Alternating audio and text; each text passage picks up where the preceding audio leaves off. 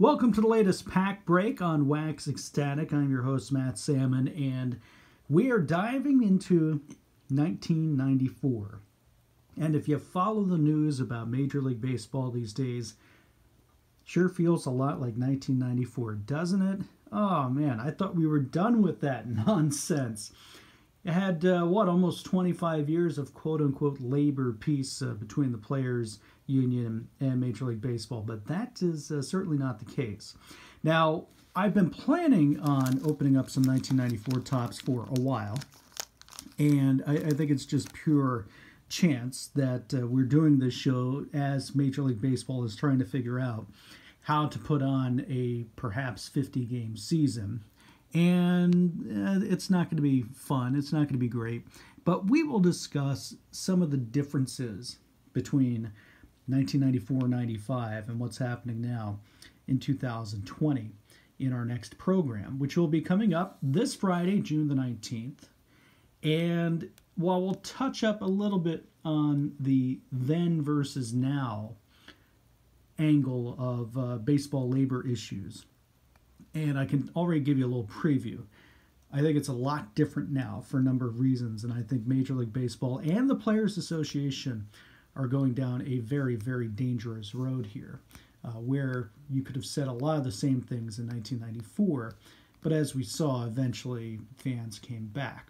Now, the good news is the game is still here. The game is going to be here. The game of baseball lives. It's uh, just unfortunate that the uh, boys playing Major League Baseball aren't doing it. And that brings us to 1994. Series 2 packs I've got here. And during our next show, I will discuss why the Series 2 packs are a lot easier to find than Series 1. But uh, we're going to go back into 1994 here. And for the first time since 1994, I am opening up 1994 baseball cards. Now, that may not seem like a big deal, but uh, if you've listened to the podcast before, you know it actually is kind of a big deal for me because the last year that I was a complete baseball card collector, buying new product left and right, was 1993.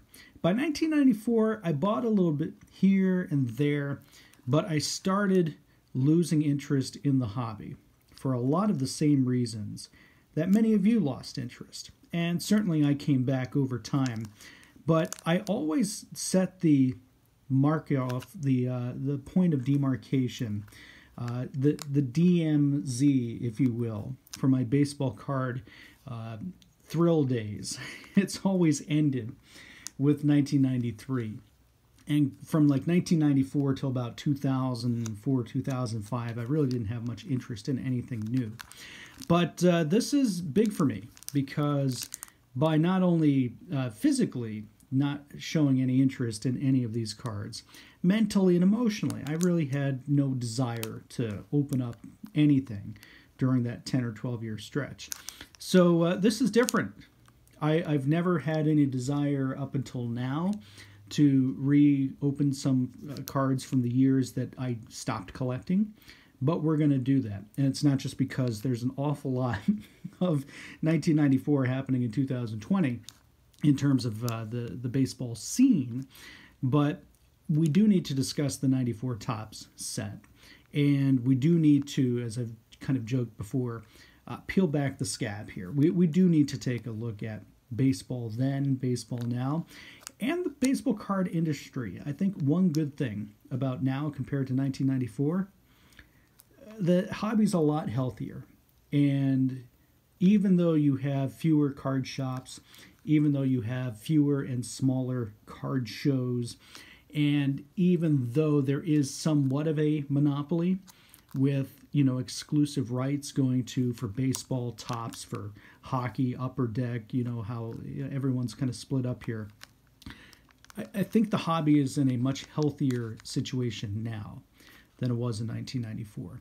All right, enough talking. Let's open these up here. Again, we've got some Series 2 packs here, each containing 15 cards, and as the wrapper proudly exclaims, look at that, two Topps gold cards in every pack. So we've gone from 1993, including one Topps gold. Now we have two in every pack, plus Topps finest 1994 cards randomly inserted. So now we're inserting inserts to get people excited. Measures of greatness. Now here's the other bad thing about 1994 cards. Uh, you hear that? That crack? Yeah. The UV coating. All right. So measures of greatness. Darren Daulton, the late Dutch from the Phillies. Joe Baver. I believe that's how we pronounce his name. Baver? Baver? Bover? And you can see, let me try to get in the light here just right. You see that right there? A little bit of that UV coating peeling off. One of the downsides of the UV coating days. Your Montreal Expos draft pick, Jose or Josu Estrada. So we will peel his card off of the Rob Ducey. That was a fun name back then. All right, Cory Snyder, looking like a beat dog there. That's one of our Topps gold cards. The other one is Mike Perez of the Cardinals. Hear that snap. Tony Gwynn. So here's Tony Gwynn in action, but again, sadly, the UV coating peeling off here. So uh, this is one of the many downsides, like I said, of cards from the mid-90s. Carlos Baerga, as Chris Berman would say. Uh, nothing fell here on the bat. I am just checking that out there. That is a great shot of Baerga, though. Uh, more of a casual shot, but pretty cool. With the old uh, Cleveland Stadium behind him. Of course, uh, Jacobs Field opening up in Cleveland in 1994. Well, we've got Tom Glavine. I'm going to skip to that one just because the other cards are stuck. So we got Tom Glavine, so nice little Hall of Famer there. Ah, Ken Griffey Jr. We'll go ahead and take that one. Good thing, too, is that these particular cards at this point in the pack don't have that UV coating wear and tear, at least not that much. The Glavine certainly doesn't. The Griffey's only got a tiny, tiny bit there. All right, so a couple back-to-back -back Hall of Famers, followed by Steve Hosey, not a Hall of Famer. Bob Welch, and then the uh, handful that are kind of stuck together here. We've got Timmy Spehr, the Big O, Orestes Destrada, and Jeff Shaw. All right, let's plow through the rest of these cards here while we got a few minutes. All right. Let's go ahead and, you know, you hear the term crack wax. Well, let's crack some UV coating because that's that terrible sound it makes. All right, 1993 draft pick Jeff D'Amico. Looks like a high school picture there. All right, we've got Jerry Goff.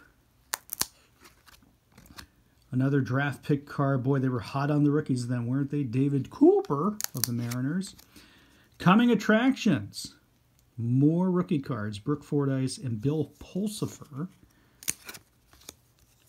We've got Charlie Hayes, your Topps gold Charlie looking rather somber there in the Rockies dugout. It was a long 1993 season. The other gold here, Steve Scarsone. That's another great Harry Caray name. I'm now heading for the Giants. Steve Scar Scarface. Rheal Cormier. That was a fun name from the 90s. I remember him. Great play for the uh, Red Sox. We've talked about him before. Mike Greenwell, underrated player from the day. Speaking of underrated, Mark Langston with the Angels. That was near the end of his prime. Jesse Orosco, who I think would go on to pitch for another 42 years after this card was made. We've got Phil Leftwich. Peel some cards away from Phil here. Ray Lankford the X-Man, Xavier Hernandez. Mike Morgan, looking pretty pissed off with that uh, pitch right there. And Jack Armstrong, looking relieved. All right, let's open up the next couple here. Let's see what we can find here. Uh, I see Jeff Kent. That would have been something back in the day. Let's uh, crack that UV coating here. Let's start with Chuck Carr, the speedy Chuck Carr, one of the original Marlins. Another measure of greatness, a rather trim Barry Bonds of the San Francisco Giants. I got a story about San Francisco Giants, Barry Bonds, 1993, all together there. Uh, speaking of coming attractions, Turk Wendell, one of the strangest people of all times, and Steve Trachsel. Of course, Uh, Trachsel, not with Bonds, but Trachsel with Mark McGwire would meet up for a historical moment a few years later. Archie Cianfrocco, we talked about him in a recent episode. Topps Gold, Roger Mason in the throwback Phillies uniform. That's a beaut. All right, Topps Gold Prospects. Norberto Martin, Ruben Santana, Jason Hardtke, and Chris Sexton. The gold foil, more valuable than any of those four guys on a baseball card. Juan Long Gone Gonzalez, nice star card there. Uh, a man who had just one really good year back in the mid 90s, Dave Burba. I believe it was 93. Let me see. Well, he was 10 and 3. I'll do some research on Dave Burba, but I believe he was one of those guys that just had one of those great years, and that was it. Steve Buechele in the middle of uh, breaking up a double play there. Dave Hansen of the Dodgers. We've got Todd Pratt in the Phillies. What do we got here? Tim Worrell, not to be confused with Todd Worrell, of course. Again, Steve Hosey. I'm loaded with Hosey. David Segui here, hustling out a ground ball for the Orioles and Jeff Kent throwing Chris Sabo out at second base. All right, last but certainly not least, our fourth and final pack of 1994 Topps cards. Are you waiting with bated breath? I know you are. You know, it's neat to open these again, but there's just something lacking about 1994 for me. I don't get it. All right, let's crack that UV coating.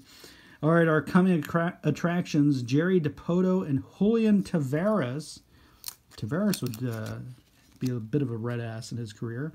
Paul Molitor, Measures of Greatness, one of the underrated, often forgotten about key members of the 1993 Toronto Blue Jays. They had an incredible lineup that year. Bobby Ayala of the Cincinnati Reds. We've got Paul Kilgus of the Cardinals. Let's uh, peel some cards apart here. All right, Chris Gomez of the Tigers, one of our Topps Gold cards. Who's the next one? Oh, there it is, Damion Easley. Very early in his career there. Is that a rookie card or it might be a second year card? I think a second year card. I think his rookie card's in 93, but that would have been worth eh, kind of sort of something back then. Charlie O'Brien of the Mets in action. Looks like he's about to get an Astro out at the plate there. The late Ken Caminiti. Boy, look at it. There, there's some meat and some needles with these two guys. Ken Caminiti and Rafi Palmeiro. You know, the story of Ra Rafi Palmeiro is interesting. Ah, speaking of meat and needles, we found Roger Clemens too. So, I mean, just wow. This this is a lot of Balco right there. Whew. And uh, as we'll discuss, part of the reason why so many baseball fans stopped watching the game for many years. Still, some good players here. Roger Smithberg of Smithberg and Associates. Uh, we got Carl, what you talking about, Willis. Mike Williams. Peel his card off. Oh, I hate UV coating. Uh, we got another Topps Gold card here randomly inserted draft pick John Ratliff, who uh, had just as much success in the big leagues as my college friend John Ratliff. And then one of the great 80s and 90s baseball names, Skeeter Barnes. We've got to talk about Skeeter Barnes because he's Skeeter. Also, we're going to try to explain, let me bring this up a little closer to the camera. We're going to try to explain this rather unique history here 83, 84, 85, disappears 87, 89, 91, like he was in witness protection for a couple years. We're going to discuss Skeeter Barnes. We may have talked about him before, but this is a nice way to end our look at 1994 Topps. Well, an interesting assortment of cards here, and I'm just going to try to shuffle them all into one nice, neat deck, and let's put a star card on top. No, that would not be Archie Cianfrocco. Let me find one of the muscle men here that we were talking about. How about Clemens? We'll put Clemens on top. There we go. And we will talk more about 94 Topps in our next podcast this Friday. I'm Matt Sammon. Thanks for watching the Wax Ecstatic Pack Break.